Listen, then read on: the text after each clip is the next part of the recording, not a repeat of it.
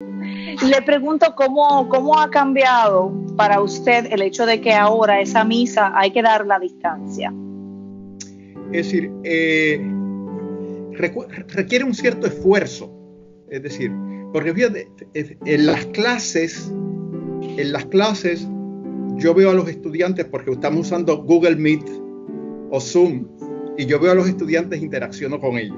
Entonces, eh, es distinto, ¿no? Pero en la misa, yo me tengo que imaginar a la comunidad que está allí afuera y los primeros días lo que me costó más era tener que estarme mirando a mí mismo. Vamos a orar, hermanos y hermanas. Vamos a orar continuando esta celebración eucarística. ¿Qué le dice a sus feligreses cuando hay que pensar quizás que de ahora en adelante Puerto Rico es diferente, el planeta es diferente, la vida es diferente? Mire, eh, yo creo que evidentemente esto es una, es una desgracia, es una tragedia y una tragedia para la que no estábamos preparados. Pero yo creo que, yo creo que puede tener también, dicen que siempre de la mano de la desgracia va la gracia. Y yo creo, yo creo que también puede tener frutos positivos. Qué pena que los tengamos que, conseguir de esta manera, pero puede tener frutos positivos para la humanidad. Y para mí, para mí, uno de los elementos que me, digamos que me golpea más, pero al mismo tiempo que me da más esperanza, es que yo creo que nos hemos dado cuenta de que somos una sola humanidad. Y que, es decir, aquí no hay privilegiados. Esto va a llegar, llega a todas partes, a los países poderosos, y claro, siempre los ricos y los países poderosos tienen más maneras de defenderse y de ayudarse que los pobres.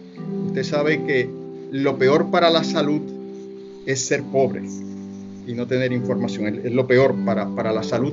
Y ahí está todo un campo nuevo de investigación que son los condicionantes sociales de la salud. Pero yo creo que una cosa que nos hemos dado cuenta es, somos una única humanidad y vamos a navegar o nos vamos a hundir juntos a la crisis.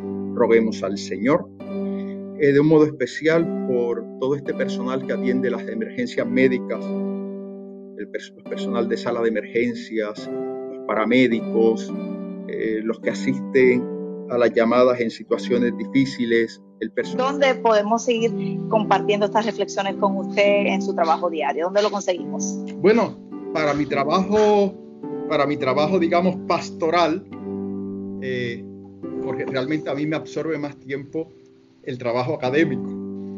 Es decir, yo soy profesor, soy director de un programa de una escuela nueva graduada que estamos estableciendo en la universidad, la Escuela de Teología, pero eh, pastoralmente estamos teniendo este espacio todos los días. Y el jueves por la noche a las 8 tenemos la misa de la Cena del Señor y el domingo a las 2 la misa de resurrección. Todo ¿Y lo vemos por dónde?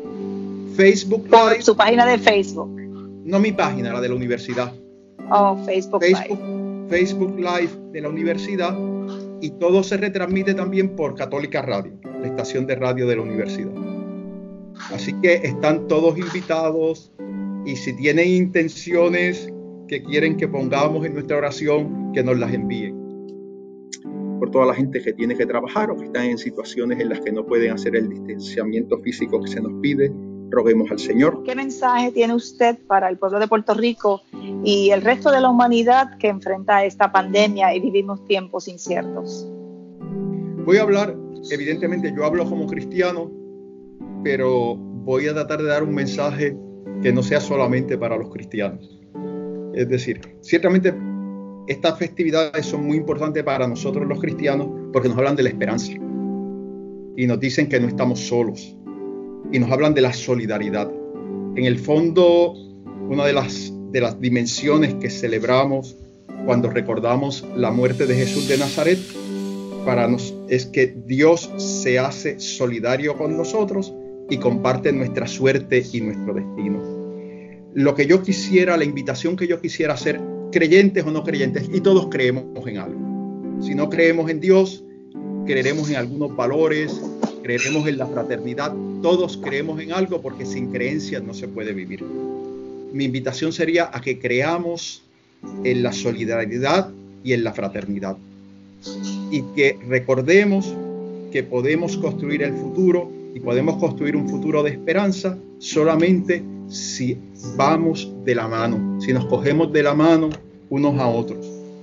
Muchísimas gracias, Padre, y que esté usted muy bien. Será hasta la próxima. Feliz Pascua.